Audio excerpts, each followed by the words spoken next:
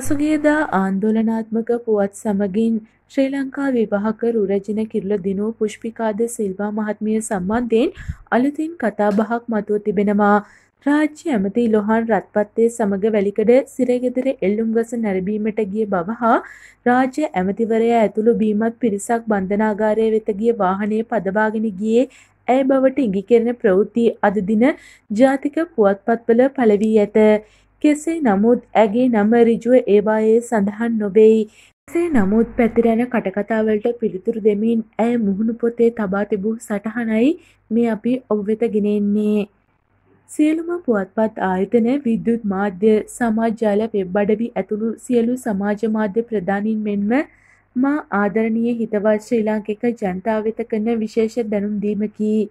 හිතවත් මහත්මයාණනි මහත්මේනි මෙම විශේෂ සටහන තබන්නේ මේ දිනවල වක්‍ර ආකාරයෙන් මා සම්බන්ධ කොට ප්‍රචාරය වන අසත්‍ය ප්‍රවෘත්ති සම්බන්ධයෙනි.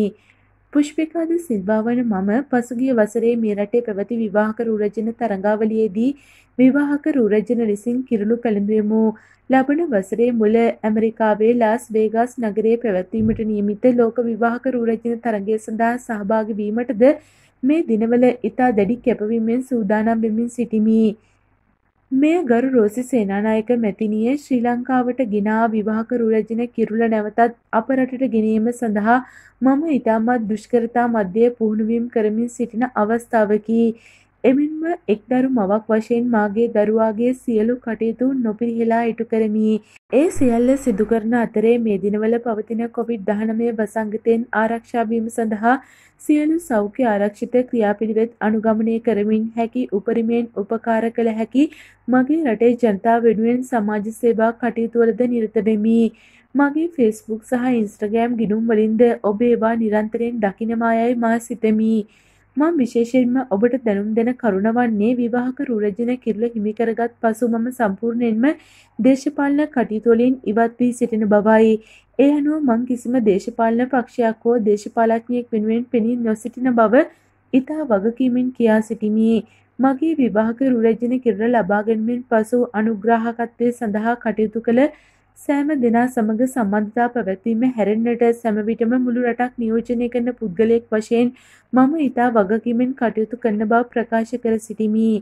නොයෙකුත් අවස්ථාවල මම සහ මගේ පවුලේ අය සම්බන්ධ කොටගෙන විකෘති කරන ලද කිසිදු සත්‍යතාවයකින් තොර ප්‍රවෘත්ති යම් යම් සමාජ මාධ්‍ය හරහා ප්‍රකාශ වීම සිදු වී ඇත.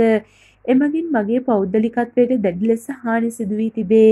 අන් සියල්ලටම වඩා මට පළමු කොට වැදගත් වන්නේ මාගේ දරුවා වන අතර මෙවන් අසත්‍ය ප්‍රවෘත්ති ප්‍රචාරය කිරීම මගින් කරන පීඩනය මටත් මගේ දරුවාටත් කිසිසේත්ම දරාගත නොහැකි තත්වයක් උද්ගත වී ඇත.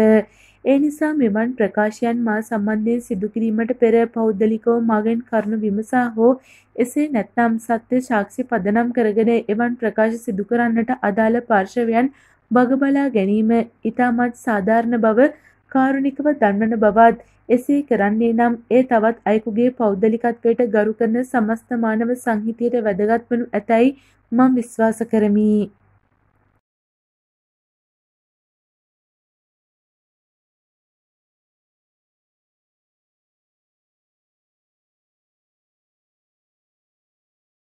තාමත් ඔබ අපව සබස්ක්‍රයිබ් කරලා නැත්නම් දැන් අපව සබස්ක්‍රයිබ් කරන්න. බෙල් බටනේ ක්ලික් කිරීමෙන් අපගේ නවතම වීඩියෝ දැන් ඔබට නරඹන්න පුළුවන්.